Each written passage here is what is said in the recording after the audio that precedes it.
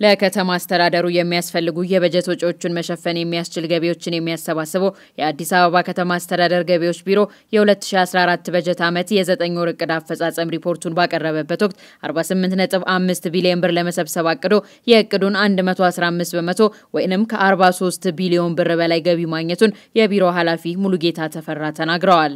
ቢሮአችን በ2014 ዓ ም በአጠቃላይ ለመሰብሰብ ያቀደው ገቢ 48.5 ቢሊዮን ብር ነው። ከዚህ ከ48.5 ቢሊዮን ብር ውስጥ ደግሞ በዘጠኝ ወሩ 37.3 ቢሊዮን ብር ለመሰብሰብ እቅድ አቅዶ ስራዎችን እየሰራ ቆይቷል።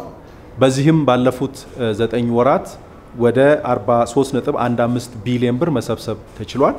ይሄም በዘጠኝ ወሩ ከታቀደው አኳያ ስንመለከት ወደ 115 percent አፈጻጸም ያለው ስኬት ማስመዝገብ ተችሏል። ይሄ አፈጻጸም ከታቀደው አኳያ ስንወስድ የ5.8 ቢሊዮን ብር ጭማሪ አሳይቷል። አምና በዚህ ወቅት በተመሳሳይ ወቅት ከተሰበሰበው ገቢ አኳያ ደግሞ ስናነጻጽረው ከ10 ቢሊዮን ብር ገንዘብ በላይ እድገት ማሳየት የቻለ ነው ማለት ነው። በመዲናይቱ ከ420 ሺህ በላይ የአገልግሎት ተጠቃሚዎች ያሉት የአዲስ አበባ ገቢዎች ቢሮ 16 ዋና ቅርንጫፎችና ከ100 በላይ ንዑስ ቅርንጫፎች ቢኖሩትም ከተገልጋዩ ቁጥር ጋር መመጣጠን አለመቻሉን ያነሱት ኃላፊው የተገልጋዩን እንግልት ለመቀነስ ኢቲታክስ የተባለ የኦንላይን አገልግሎት አበልጽጎ ወደ ስራ ማስገባቱንም ነው የተናገሩት። አገልግሎት ከኛ የሚያገኙት ግብር ከፋዮች ቁጥራቸው በጣም ብዙ ነው። ወደ 420 ሺህ የሚደርሱ ግብር ከፋዮች አሉ። እነዚህ ግብር ከፋዮች በ16 ቅርንጫፎች እንደዚሁም ደግሞ በ117 ንዑሳን ቅርንጫፎች ውስጥ አገልግሎቶችን ያገኛሉ። ስለሆነም ከምንሰጠው አገልግሎት ጋር በተገናኘ አገልግሎታችንን ማላቅ እንዳለብን ትኩረት አድርገን ባለፉት ዘጠኝ ወራት ስናከናውን ቆይተናል። በዚህም ከጊዜ ወደ ጊዜ የአገልግሎት አሰጣጣችንን ለማሻሻል ልዩ ልዩ እርምጃዎችን ወስደናል። በተለይ ሁላችሁም እንደምትገነዘቡት የደረጃ ሐ ግብር ከፋዮች ቁጥር በጣም ቁጥራቸው ከፍተኛ በመሆኑ ምክንያት ወደ 298 ሺህ የሚደርሱ የደረጃ ሐ ግብር ከፋዮች አሉን። ለነዚህ ግብር ከፋዮች አገልግሎት አሰጣጡን ዘመናዊ ለማድረግ በቢሮአችን የ IT ቴክኖሎጂ በማልማት ኢቲ ታክስ የሚባል አገልግሎት መስጠት ጀምረናል።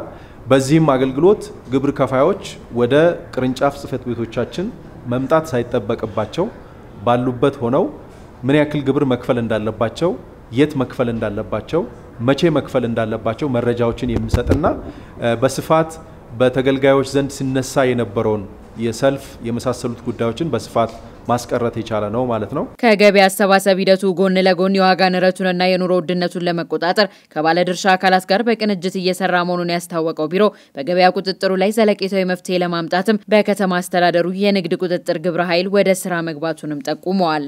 የኑሮ ውድነት ችግር ሸማቹንም እንደዚሁም ደግሞ ሻጩንም ያጠቃዋል እና ለምሳሌ ንግዱ ማህበረሰብ የሚገዛቸው እቃዎች አገራችን ውስጥ እንደምታውቁት አብዛኞቹ imported ናቸው። imported በሚሆኑበት ጊዜ ደግሞ የመግዣም እንደገና ደግሞ የትራንስፖርት ወጪያቸውም ከፍተኛ በሚሆንበት ጊዜ ዋጋ ላይ ጭማሪ ይመጣል። እነዚህ የዋጋ ጭማሪዎች ሲመጡ በአንድ በኩል ነጋዴውን፣ በሌላ በኩል ደግሞ ሸማቹን ደግሞ ያጠቃዋል ማለት ነው።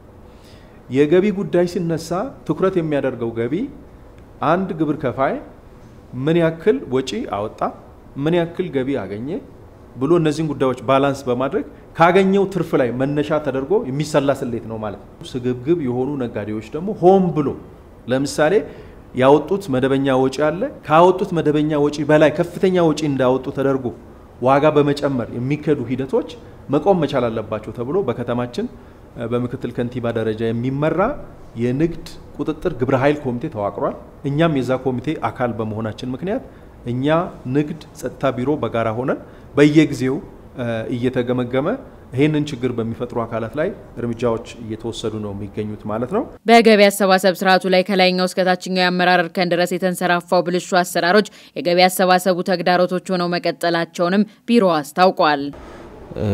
ብልሹ አሰራር በተለይ በአመራር ደረጃ እስከ ታችኛው አመራር እስከ ስራ ሂደት ቡድን በፈጻሚ ደረጃ በግብር ከፋይም ደረጃ ያሉ በተለይ በሚፈለገው ደረጃ ግብራችንን እንዳንሰበስብ ለሕዝብ መዋል ያለበትን ገንዘብ ለልማት መዋል ያለበትን ገንዘብ በዛ ደረጃ እንዳንጠቀም የሚያደርገን በጣም ሰፋ ያሉ የአመለካከት ችግሮች ከዚህ በፊት የነበሩ ስለነበረ still challenge እያደረጉ ያሉበት ሁኔታ አለ። ያው እሱን ለመፍታት እንቅስቃሴዎች ጀምረናል። ዋናው ግን እሱ ነው። ሁለተኛው የመልካም አስተዳደር ችግሮች አሉ። ከመመሪያም አንጻር መፈታት ያለባቸው በተለይ ባለፉት ጊዜያት የነበሩ ውዝፍ ስራዎች፣ በቅሬታ ደረጃ ያሉ ችግሮች አሉ። በግብር ከፋዩ የሚያነሳቸው ጥያቄዎች፣ ሰራተኛው የሚያነሳቸው ጥያቄዎች አሉ። በሰራተኛ ደረጃ በአስተዳደሩ የሚፈቱ እነኚህ እነኚህ የግብር አሰባሰባችን ላይ ትልቅ እንቅፋት ናቸው ብለን ለይተን እየሰራን ያለንባቸው ጉዳዮች ናቸው። የግብር ከፋዮችን ቁጥር ለማሳደግና ግብር ከፋዩንም ለማበረታታት በ2014 በጀት ዓመት 299 ለሚሆኑ ግብር ከፋዮች የእውቅና ሰርተፍኬት መስጠቱን ያስታወቀው ቢሮ የታክስና ግብር ጠቀሜታን አስመልክቶ ግንዛቤን ለመፍጠር ከ100 በላይ ከሆኑ የትምህርት ተቋማት ጋር በቅንጅት እየሰራ መሆኑንም ጠቁመዋል።